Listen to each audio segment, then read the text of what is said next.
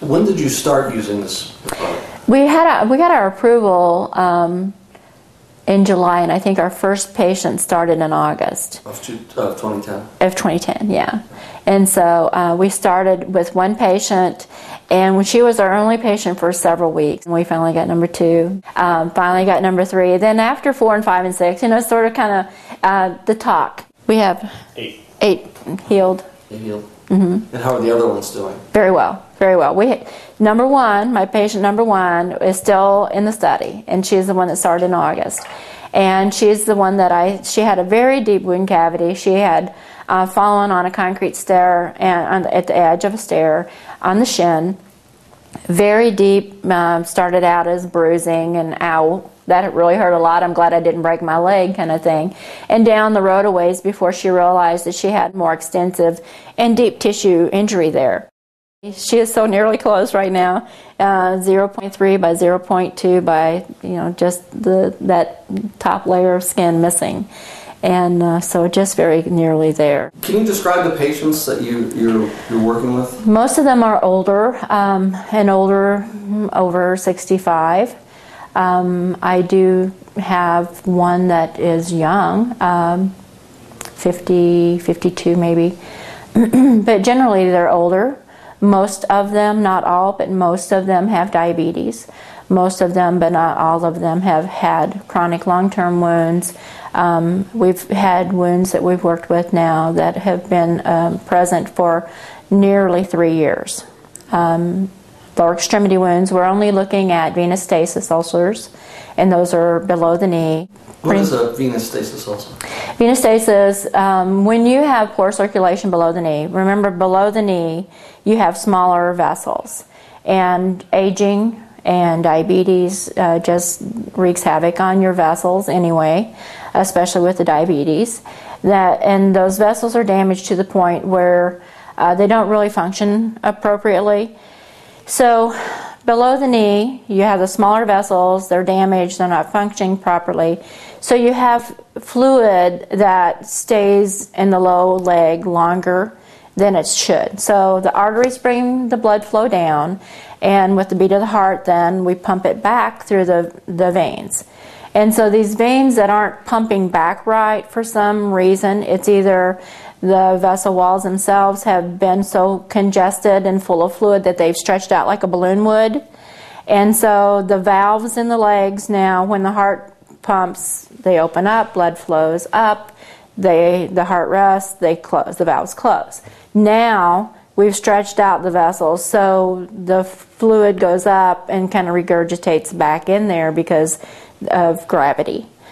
And if the fluid stays in the vessels, they become so overwhelmed that it changes actually the gradient, the pressure gradient inside the vessel, and starts leaking out into the tissue and kind of third spacing kind of thing. So you have It's like a a hydrostatic pressure? yeah, So- um, yeah. So you have a lot of edema in these lower extremities, and that swelling, that fluid, that extra fluid that builds up down there wants a way out. So often, it you know, I think about this. It stretches the tissue till it's at its thinnest, and then often you'll just crack and weep. Wound fluid or body fluid has a lot of enzymes, and that enzymatic action of cleaning you know, they're cleaners. And so that will actually eat away at the tissue on the surface of the wound, especially if you've got a band aid or something over it, or even your clothing can hold it next to the skin and it kind of erodes away the skin. And over a long term, you get a wound that just kind of keeps on going on because it won't quit weeping long enough to heal. And so either that or some minor incident, like uh, most of the folks that I see got a wound from some minor incident. It's like, I just bumped my leg on a plastic cart in the garage and it just you know three years ago and it hasn't healed and i hear that story over and over and so they're little wounds that are, are of no consequence except for they never heal and of course a hole in you is an invitation to bacteria and infection diabetes loves infection and they just feed each other What, can you give me a sense of the, the scale of the wounds when you're talking about a wound? Well, you're going to have a wound that's anywhere from a centimeter by a centimeter by less than a tenth of a centimeter deep. That just get stuck there and So don't. like about the size of a Just, dime. uh, by the pinky finger, you know. Uh, very small wounds to wounds that uh, we have three or four in the study that are wounds that if they didn't have debris in them, I'm sure you would see some serious structure like bone. We see tendon, bone, uh, nerve strands, vessels. And so, you know, they're quite extensive wounds or can be.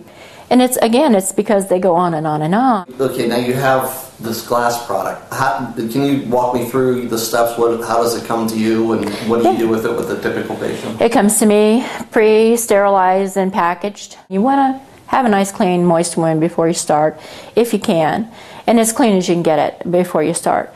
Um, and, and I just use tweezers, and depending on where the wound is, sometimes you just kind of have to pour it out in your hand and you know put it up there. But um, because it isn't a flat foil pack, you, it kind of comes kind of squished down, and it looks much like um, cotton candy. If I have a, a wound that, that has a cavity or tunneling, then I will take the, those tweezers and we'll I'll just kind of pack it up into the cavities into the the crevices back there before I fill up the wound cavity. I try to always fill the cavity. I don't pack it in hard and tamp it or anything like that, but I do try, especially if I have tunneling or uh, deep recesses, we do try to get it back in there as much as we can. And what I've been doing is, in the past, I'd always wanted to debride anything out that didn't look good. Any slough or anything that looked non viable, I wanted to clean that away. But what I found with this product is that I can actually leave that. Uh, and removing it sometimes can be a trick because it actually feels like it makes its own little environment and it causes, it's almost like a tightly woven web of tissue and product. And I felt like some of it is well adhered. If it is, I try not to disturb it. Um, leftover debris of it will look like wet sand and usually be at the low end. And uh, anything that looks like that, I'll try to flush it or um, irrigate it out of the wound bed. But anything that wants to hang on and grip on, what I have seen is that sort of that little beginning matrix, maybe. Uh, we don't really know at this point what it is that it's doing there, but it seems okay to leave it there. And what I will see often is that the next time you're going to start seeing granulation tissue in that area. Now, eventually, I don't see that anymore, so it gives it up. Does it become part of the tissue? We don't quite know really what the whole um, story is there, but it's just such a neat thing to watch that process. And then usually a secondary dressing over it, a gauze and a wrap. Uh, like I said, we're, we're talking lower extremity wounds, and the gold standard for venous stasis ulceration is compression wraps. And so I'd say hmm, 75% of the folks I have have enough edema that we do put them in compression, a Unna boot wrap or a multiple layered wrap. So depending on the size of the wound, the activity of the patient, where they're located, how far their drive is to clinic, I'll see them uh, once a week, twice a week, three times a week at the most. Monday, Wednesday, Friday, Monday, Friday, or one of those days. I try to not see them too often. My personal um, theory is that you can mess with a wound so much that uh, you don't give it an opportunity to heal. And uh, daily and more than daily wound dressing changes, I feel like, are probably as um, detrimental as they are helpful. How do you know the wound wouldn't have healed anyway? Oh, I'm sure it would have. I'm, my gut says it would have healed. Um, I feel like before we started using this product, I had wounds that healed um, at the same rate that we're healing now. What I think, though, is amazing is that it's allowing me to do s- two wounds that I have on the study. I would have chosen a wound vac as my plan A, or at least plan B, if what I did up front wasn't showing me the progress that I wanted to see. And I don't know if you know about wound vacs, but it's a negative pressure. It's a little machine that you carry around with you, and it sort of vacuum packs your wound. And it's a beautiful thing, and it grows, it, it will produce granulation tissue at a high rate of speed. double time of what normal uh, wound healing would be. What I am finding is, though, is with this glass fiber product, that I'm building granulation tissue and filling that wound bed at the same kind of rate of speed that I would expect from a wound vac, which is very expensive and an aggravation um, because though they've made it small enough that it's not a big deal to carry around with you all the time, we're talking a dressing and a little machine that's with you 24 7 from the time you get started with it until the wound is healed. And don't get me wrong, I'm a major fan of the wound vac. But uh, if I can see that tissue healing at the same rate or nearly even the same rate, then I'm I'm liking that a lot. When the when the wound is healed, what does it appear like? it's a, amazing uh, that we're seeing so little scar tissue there. Patient number one had a significant wound, and it was like a big number six shape. And now there's a tiny little spot there, but when you look at that area, if you didn't know that one was there, you would never say, "Oh, that's where she hurt herself," because the scarring is just not there.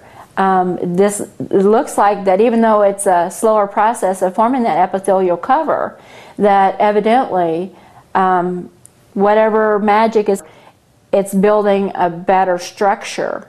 And again, our folks are elderly and they have a lot of skin discoloration, and you would think that you're going to see more dramatic scarring. And seriously, we have scar- we have healed wounds that show you nothing. Wound care specialists like to have a lot of tools. Yeah. So this is one more. It is. It is. It's a. It's a wonderful tool to have. And you know, I was taught that you start conservatively and you build up. If the conservative uh, care doesn't work, then you move forward with something that's a little more advanced or a little more expensive, and you know, you work your way to that. Um, but I will work my way to that very quickly because you know I do want to see good results, and I want, and I'm I'm not patient. I don't think so. I want to see those results happen. I want to see them happen timely, and I know that I can use this product and I can see those deep wounds um, progress quickly. And so I think that um, in that sense, I am a little bit biased because I would prefer to reach for a product that I know I could see some magic happen quickly as opposed to seeing it happen and trying to get your photographs together to compare them to see what's happening here. You know, where when you when your eyes can tell you, "Wow, um, that's a nice big change since the last time I saw it," and you don't have to go back and refer to the last six weeks worth of uh, photographs to see, am I building tissue there? What's your patient's impression of it? They love it.